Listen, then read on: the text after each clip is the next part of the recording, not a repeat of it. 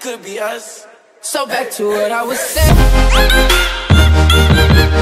Could, be us.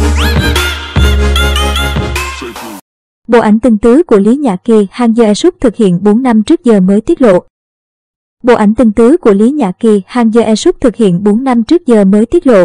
Bộ ảnh được thực hiện khi vừa mới bấm máy bộ phim Kẻ thứ ba cách đây 4 năm. Tuy chưa từng biết nhau trước đó, nhưng cả hai vẫn vô cùng ăn ý là tạo ra những phản ứng hóa học rất tốt. Kẻ thứ ba xoay quanh chuyện của vợ chồng họa sĩ Quang Kha, Hang E Suk và bác sĩ Thiên Di, Lý Nhã Kỳ. Một tai nạn khiến Thiên Di đột ngột qua đời, Quang Kha trải qua cú sốc lớn, tìm mọi cách để gặp lại vợ. Anh phát hiện có thể liên lạc với một nhân vật sống ở quá khứ qua chiếc laptop mua được. Anh quyết định đề nghị người đó giúp ngăn chặn vụ tai nạn cướp đi vợ anh. Trong bộ ảnh mới được ekip tung ra, cặp sau không ngại thể hiện tình cảm, tình tứ bên nhau. Dù là ngoài màn ảnh song cả hai phối hợp vô cùng anh ý như đôi tình nhân thực sự. Lý Nhã Kỳ tiết lộ, tôi và anh Hang hiểu nhau rất nhiều. Chúng tôi có phản ứng hóa học trong vai diễn Quang Kha, Thiên Di trong phim. Chúng tôi đã dư cảm xúc để hiểu nhau qua cảm xúc vai diễn và qua tính cách của cả hai bên ngoài. Chỉ cần nhìn nhau thôi anh Han sẽ biết tôi muốn nói gì và ngược lại.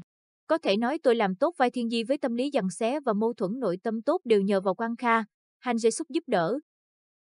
Người đẹp không tuổi nhận xét anh Hang rất tinh tế, nhiệt tình hỗ trợ, biết cách nâng cảm xúc bàn diễn và kéo gần khoảng cách của cả hai.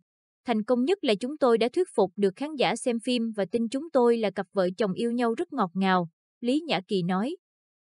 Cô cũng tiết lộ tài tử dày thủy tinh là thần tượng từ thời thanh xuân, tới bây giờ anh ấy vẫn là mẫu đàn ông lý tưởng khiến cô rung động, sao xuyến.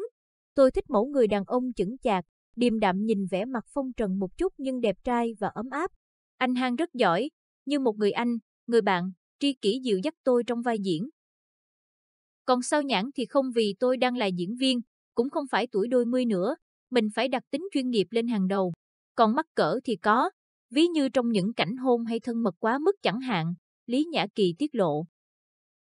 Vừa qua, anh chàng Quang Kha, Han Jae Suk đã hỗ trợ nàng Thiên Di, Lý Nhã Kỳ khá nhiều khi không ngại xa xôi đến Việt Nam để cùng quảng bá cho bộ phim điện ảnh kẻ thứ ba. Han Jae Suk đã lên máy bay về Hàn Quốc sau buổi Cine Tour ngày 14 tháng 5, còn Lý Nhã Kỳ cũng đã lên đường đến Liên hoan phim Cannes vào sáng ngày 18 tháng 5.